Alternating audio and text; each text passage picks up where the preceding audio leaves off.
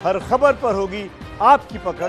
Download कीजिए ABP live app इस वक्त बड़ी खबर आ रही है बड़ी खबर यह है कि तेजस्वी यादव कुछ बोल रहे हैं। देखिए आज मतदान है पहले चरण का 16 जिलों की इकतीस इकहत्तर सीटों पर मतदान है। और हम आपको बताते हैं कि तेजस्वी यादव जो कि आरजेडी के सबसे बड़े चेहरे हैं इस चुनाव को लीड कर रहे हैं। वो क्या कह रहे हैं वो सुनवाते हैं आपको।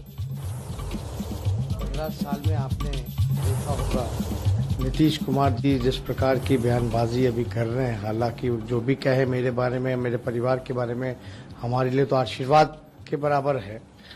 लेकिन नीतीश जी ने, चाहे बाढ़ हो, चमकी बुखार हो, चाहे करोना काल हो, महामारी हो,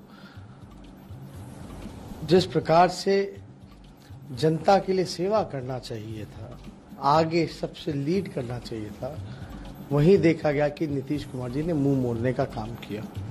तो हमें पूरा विश्वास है, खासतौर पे करोड़ों की संख्या में, लाखों की संख्या में फ़र्स्ट टाइम जो वोटर्स हैं, उनसे मैं कहना चाहता हूँ कि अपने वर्तमान को देखते हुए और भविष्य के, सुनहरा भविष्य को देखने के लिए आप लोग जो है मत का प्रयोग ये वक्त का आपको बहुत लंबे दिनों से इंतज़ार होगा क्योंकि मेहनत तो आप भी बहुत कर रहे हैं आप बारह बारह तेरह तेरह रैलियाँ कर रहे हैं। तो क्या आपको लग रहा है कि आप जो आपकी जो मेहनत है जो आप इतनी कर सफल होंगे? क्योंकि उधर भी एक देखिए बिल्कुल बिल्कुल सफल होंगे क्योंकि जनता के साथ हम खड़े हैं। और ये लड़ाई सरकार बनाम जनता है और जनता की जीत होना तय है और हम इस लड़ाई में जनता के साथ खड़े हैं।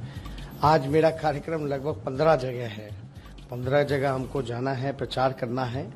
लेकिन जो फ़र्स्ट फ़ेज़ में जो हम लोगों ने प्रचार प्रसार किया, जिसकी आज वोटिंग हो रही है, होने जा रही है, उसमें हम इतना ही कहना चाहते हैं कि सब लोग जात और धर्म से ऊपर हट करके मुद्दे पर वोट कर रहे हैं। और लोगों में, खासतौर पे नौजवानों में बड़ी उत्साह है। तो जनता की जीत तय है, ये कह रहे हैं। लेकिन तीखा हमला किया, नीतीश कुमार पर सीधे सीधे काय चमकी, बुखार हो, बाढ़ हो, कोरोना काल हो, सब जगह नीतीश कुमार फेल हुए पहले चरण के मतदान की शुरुआत होने वाली है थोड़ी देर में। उससे पहले ही तेजस्वी यादव ने तीखा हमला नीतीश कुमार पर किया है।